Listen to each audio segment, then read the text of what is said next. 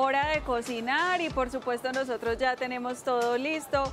Los saludamos con un, vea, un abrazo así bien afectuoso que se sienta hasta todas partes de Medellín, incluso hasta San Jerónimo, ¿sí o no, Quique? Sí, hasta San Jerónimo, Santa Antioquia, en todos los municipios. Claro que sí, tenemos una receta súper bacana, tenemos al chef Quique con toda la buena energía del CESDE que nos acompañan siempre con esas recetas tan deliciosas y por supuesto en esta temporada de Navidad decembrina, los niños son protagonistas. Entonces le quiero mandar un saludo muy especial a todos los niños que se conectan con la señal de Telemedellín, con mi parque y que también le gusta la cocina. Entonces el saludo especial para los niños y sobre todo para mi sobrina Elena, que yo sé que está ahí pendiente viendo a la tía en televisión. Entonces, Elena, un besito bien grande, mi amor. Bueno, entonces ahora sí nos vamos a poner serios y nos vamos a poner a cocinar. Quique, Quique, qué rico que estés de nuevo aquí. Nos contabas entonces que trajiste una propuesta fácil como para un almuercito del diario.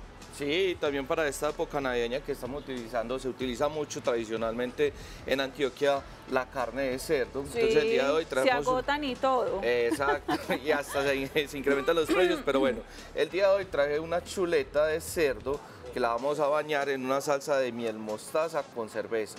Bueno, y es muy chévere porque sabemos que sí, que a veces nos cansamos de las mismas preparaciones y cuando estamos sobre todo como que en estas festividades, casi siempre se nos ocurre hacer la carne de la misma manera, frita, asada, al barril y pare de contar, entonces chévere tener otras alternativas. O como decía mi abuela, ACPM, arroz, carne, papa y maduro. ya. sí, entonces vamos a ver los ingredientes que necesitamos para que empecemos con esa receta.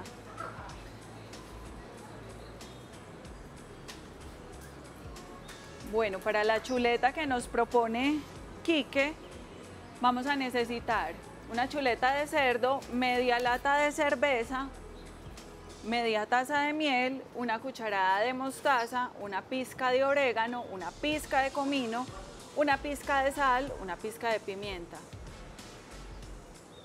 Está como muy fácil, muy básica la receta. Vemos entonces por otro lado la ensalada, que como siempre les recomendamos consumir abundantes vegetales y los pueden variar a su antojo, pero la propuesta de Kike y del CESDE es 6 unidades de tomate cherry, 2 hojas de lechuga, una lata de arveja, mm, una lata de maicitos, una pizca de parmesano, un chorrito de vinagre balsámico.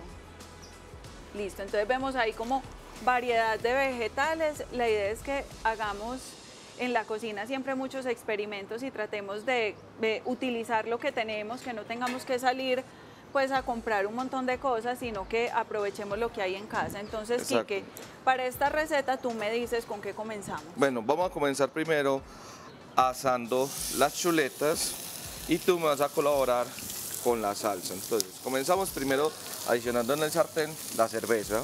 Quique, yo veo que la chuletica ya tiene un proceso. ¿Qué le habías hecho? una precocción le hice para y la salpimenté para que recogiera sus jugos, sus sabores, estuvieran ahí y en el momento ya de servirlo con la cerveza estuviera bien rico todo. La mostaza. Tenemos entonces cerveza. Sí, la cerveza puede ser cualquier tipo de cerveza, puede ser oscura, amarilla, cerveza light, lo que tú quieras. Doble IPA, IPA, puede ser artesanal, ya dependiendo que ustedes tienen que tener en cuenta que si ya tienen un sabor de una cerveza oscura, les va a dar ya un sabor muy, muy marcado, muy amargo de pronto, que es lo que estamos buscando acá en esta preparación eh, cari, que se, se integre ese sabor de la cebada, se evaporen las notas alcohólicas y se incorpore con la mostaza y la miel que te la vas a estar adicionando. Que yo creo, Kike, que pues en general la carne de cerdo y el pollo van muy bien como con esos sabores agridulces. Sí, señora. Entonces la, la propuesta de tener ahí como la miel, la mostaza y adicionalmente la cerveza va a ser pues como un diferencial muy muy chévere para esas chuletas.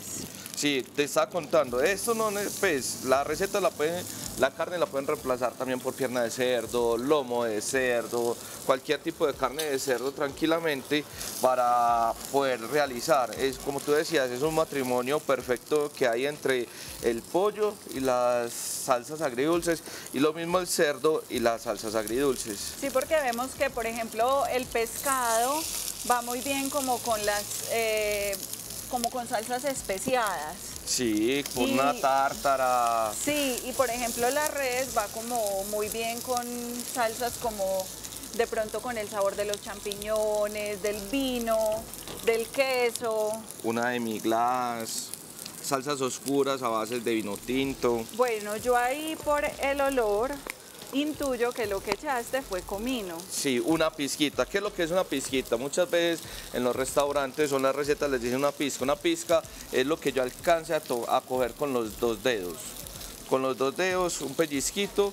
Esto sería una pizca, lo cual yo le adicionaría como tal a la receta.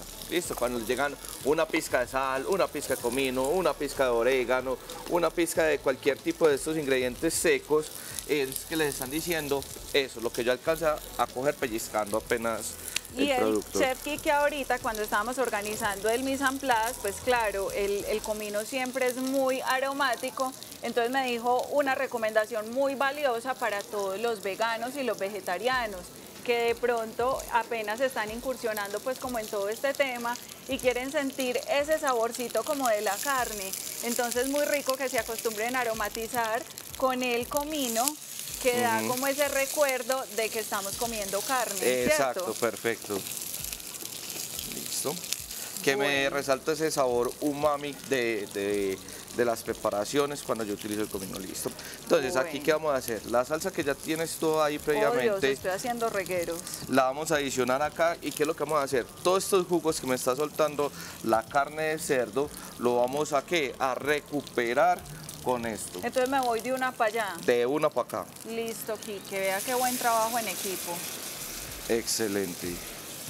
Listo, y yo veo entonces que la salsa pues no esperamos a que cogiera como mucho cuerpo, sino que así más bien muy fluida la, la Exacto, porque el cuerpo ya lo va a coger, es directamente acá con la carne y la carne lo que va a hacer es absorber esos sabores de la miel mostaza.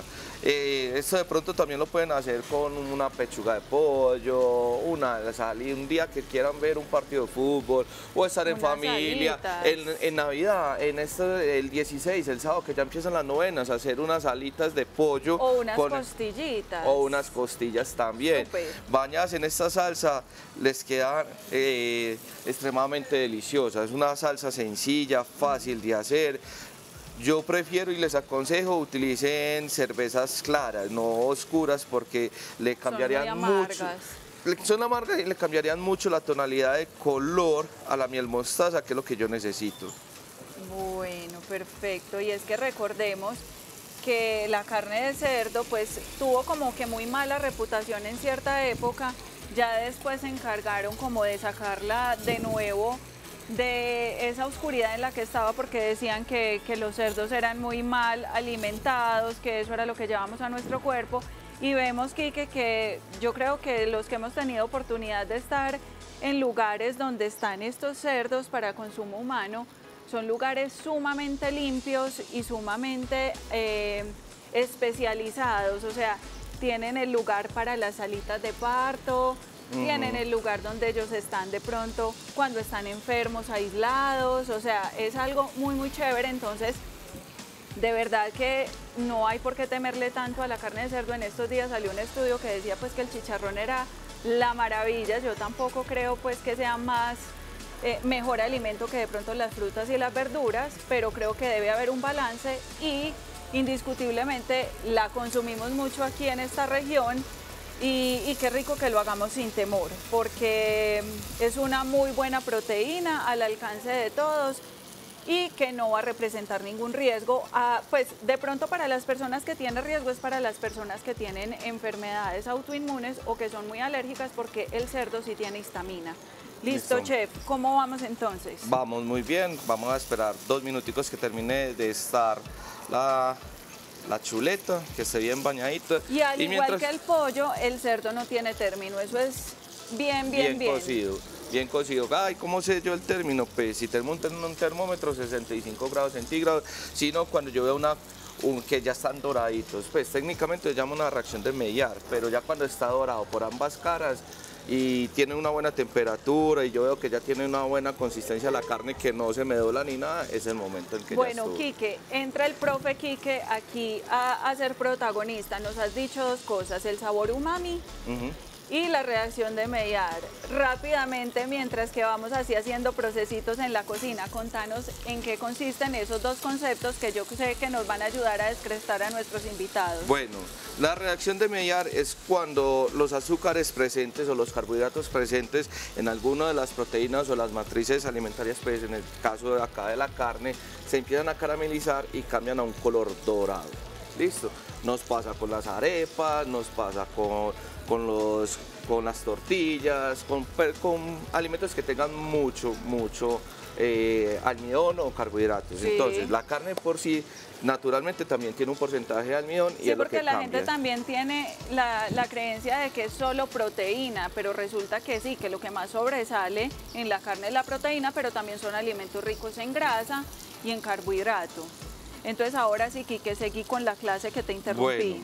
y el sabor umami, nosotros, nuestra lengua percibe cinco sabores, amargo, salado, dulce, ácido. Y el umami es ese sabor indescriptible que lo incita a usted a que quiero seguir comiendo, quiero seguir comiendo y por lo general lo trae naturalmente las carnes o eh, las algas, que es de ahí donde sacan la salsa de soya y por eso cuando comemos nosotros aquí el arroz oriental sazonado con, con salsa de soya, queremos seguir comiendo y seguir comiendo y seguir comiendo como, uy, qué delicioso, es ese sabor umami. Y ese sabor umami lo están tratando como de tener muchos alimentos industrializados y por eso es que inexplicablemente muchas veces seguimos y seguimos comiendo, pero ojo que el chef Quique fue clave nos dio los datos precisos que necesitamos para no dejarnos engañar y es que la carne y las algas son protagonistas y lo tienen solitas. Ya los demás alimentos que generalmente son cosas de paquete, son, pues lo traen artificialmente y no es tan bueno para la salud. Que es un, un ingrediente que se llama glutamato monosódico. Acá ya la ensalada le estoy haciendo un baño de vinagre balsámico. Bueno, entonces rápidamente voy a enumerar. Eh, fue una cama de mezclum. Sí, o en eh, este caso las dos hojas de, lechuga que les pedí pueden ponerla ahí debajo. Listo, igual por ejemplo ahora tenemos mucha variedad de vegetales verdes de hoja que podemos recurrir a ellos, pero a mí particularmente me encanta si utilizamos el, el repollo o la tradicional lechuga batavia, que es la que toda la vida habíamos tenido acá como a disposición y la hemos ido como dejando a un ladito y también se ve muy bonita y sabe muy rico, tiene una crocancia perfecta. También utilizamos entonces arvejas y maicitos, sí. Eh, tomates que le van muy bien en esta temporada como por el color a nuestras recetas Veo que utilizaste unos brotes que para mí son la sensación porque uno siempre queda súper bien, muy sofisticado cuando presenta los platos con esos brotecitos. Incluso en estos días fui a un almacén y encontré unos brotes a muy buen precio. Buen precio es menos de 3 mil pesos. ah, muy buen precio. Sí, señor. Y hasta los huevos les pongo a esos brotes y eso queda divino. Entonces ahí tienen un dato importante para que ustedes también lo repliquen como todo lo que hacemos aquí en A la Carta. Chef, ¿cómo nos quedó entonces? ¿Con qué coronaste? ¿Con balsámico? Sí, el vinagre balsámico muchas veces yo hago una reducción de vinagre balsámico, como el arroz. Eh, una, dos partes de vinagre balsámico por una de azúcar, dejo que se reduzca para que ya quede como más espeso y baje un poco la acidez del vinagre balsámico, pero también lo pueden usar sin la reducción, no hay ningún problema. O con limoncito o con la vinagreta que ustedes tengan a la mano, pero vea, prueben esto porque de verdad que está delicioso, esto huele muy muy rico. Y el agradecimiento pues al chef Quique porque siempre siempre hace presencia con unas recetas que nos ayudan a quedar bien, esperamos que les guste, que la repliquen, que nos cuenten por redes sociales. Y por supuesto no se vayan a mover, venimos a un corte pequeño pero siguen más aquí con mi parque de Telemedellín.